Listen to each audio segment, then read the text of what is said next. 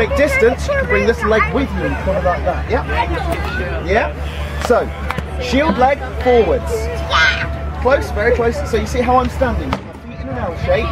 I've got this this foot sideways so I can kick forwards in a lunge if I need to. I've got the shield covering me, covering my body, yeah? So if you point that foot facing that direction, knees bent, so you've got some mobility, that's it. Ready? Shield up. You've got to listen, Oliver. Then you got to get your shield up, that's it, fantastic. Nice, Max. Listen.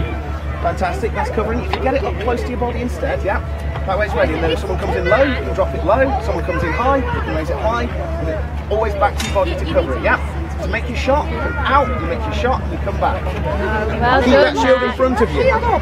Well done, Max. First thing about fighting, shield up. Not really, shield discipline. shield discipline, shield discipline. That's it, fantastic. And then nice and slowly out for that overhead shot and then back again. Well Boom, done, and back Max. again.